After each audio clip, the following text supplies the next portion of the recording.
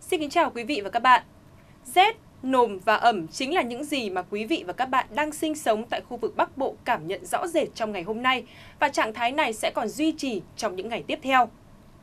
Nguyên nhân của tình trạng này là do khối không khí lạnh chi phối thời tiết tại các tỉnh thành Bắc Bộ di chuyển ra phía đông và biến tính, gây ra tình trạng là trời nhiều mây.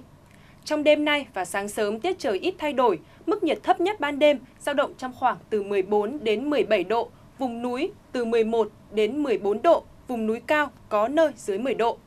Sang đến ngày mai, khối không khí lạnh khác từ phía Bắc tăng cường dần xuống sẽ làm gây mưa cho toàn bộ khu vực Bắc Bộ, mưa nặng hạt hơn.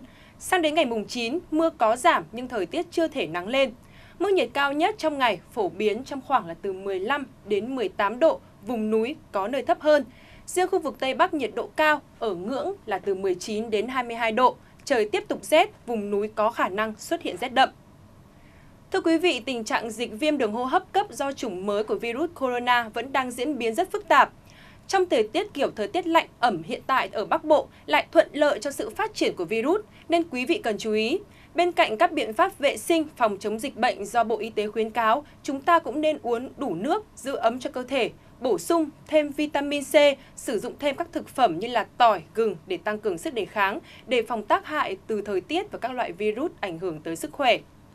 Quay trở lại với tình hình thời tiết tại các tỉnh thành miền Trung, ở khu vực Bắc của Trung Bộ từ Thanh Hóa trở xuống đến Hà Tĩnh khoảng chiều tối và đêm mai ngày 7 tháng 2 cùng với quá trình dồn xuống phía nam của khối không khí lạnh sẽ gây mưa cho khu vực này và mưa sẽ có thể kéo dài trên khu vực này trong vài ba ngày tới.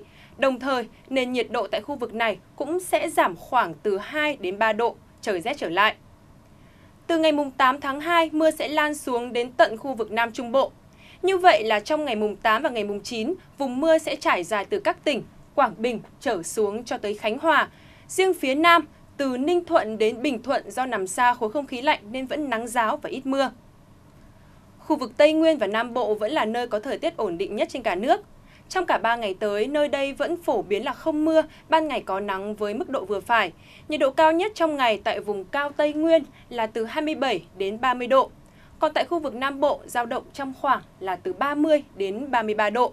Riêng một số nơi thuộc Tây Ninh, Đồng Nai và Bình Phước có thể sấp xỉ hoặc là trên ngưỡng 34 độ. Về ban đêm tại khu vực Tây Nguyên, do điều kiện địa hình nên nhiệt độ vẫn ở ngưỡng khá thấp, từ 13 đến 16 độ và trời còn rét về đêm và sáng.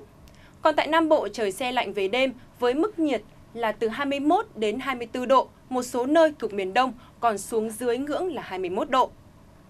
Chuyển sang các thông tin thời tiết trên biển. Từ chiều tối và đêm ngày mai mùng 7 tháng 2, do ảnh hưởng của không khí lạnh tại khu vực Bắc của Biển Đông, bao gồm huyện đảo Hoàng Sa, phần phía Tây của vùng biển giữa và Nam Biển Đông, gió Đông Bắc mạnh dần lên cấp 6, giật trên cấp 6 gây biển động.